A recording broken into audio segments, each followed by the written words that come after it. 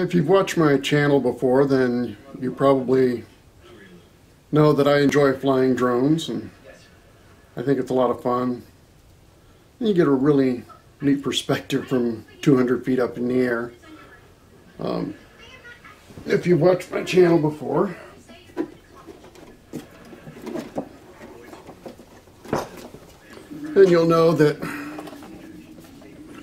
I fly the uh, GoPro Karma drone, and uh, I enjoy it. I mean, the GoPro camera gets really, really nice footage. You can shoot 4K, um, although I usually don't. I usually go 1080p, but uh, it's just really nice. It's big, it's stable. I've had it up in high winds, and it just sits there like a rock.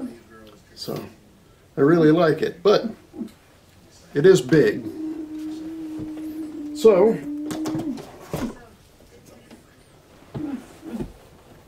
I went out and got something to test. I picked up the DJI Spark. I mean, look at the size of this thing. It's tiny. Um, and, uh, I mean, it gets a decent flight time. It doesn't get the flight time that the uh, Karma gets. Uh, about a five minute difference. But uh, I like it. It's it's very small. I can stick it you know, in my camera bag and stick it in a suitcase. You know, some of my pants I could even stick it them in my pocket. And uh, it's really, really fun to fly. Uh, you can fly it with your phone. You can fly it with the uh, Spark controller. Or you can even fly it using hand gestures. You don't even need a controller. This is the case that the Spark comes in. Compare that.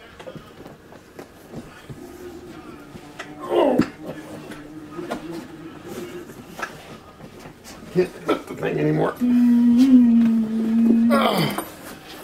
Compare that to the case the, for the Karma. And compare the compare the DJI Spark case to the Karma case, and uh, which one would you want to carry around with you? So, I mean, I love the Karma. You know, if I'm doing a project, you know, a big project, I, I really love the Karma. But, you know, if I'm going to go somewhere or travel, and I just want to take a drone with me to, you know, shoot some photos or some video and just have some fun, I'm going to take the Spark.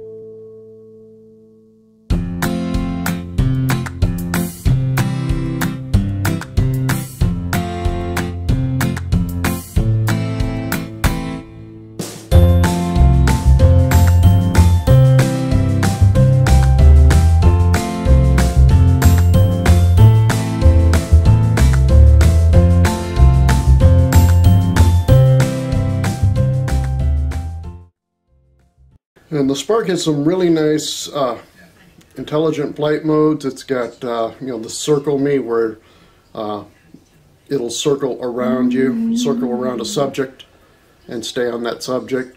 Um, it's got a helix feature where it'll start low, circle around the subject, and then slowly get higher and higher. Um, it's got a, uh, a rocket mode where it'll just take off, you know, straight up, keeping pointing straight down at you. So interesting, and of course it's got the uh, the, the selfie mode where it flies up and away from you. Um, and it's got a really nice feature, uh, active tracking, where you can select a subject and it'll stay on that subject and follow it.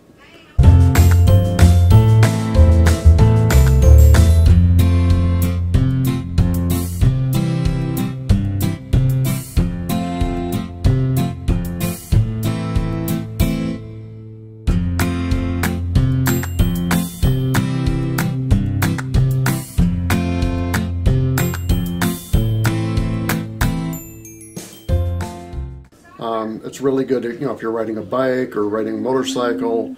Um, if you want to, you know, follow a subject and uh, not really have to worry about the controls. You just define the subject on the screen and it stays right on the subject.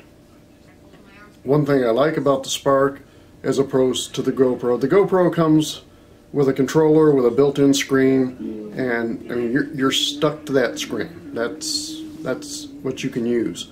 Um, with the Spark, since it uses a, a, separate device for the screen, I can use virtually any kind of screen that I want.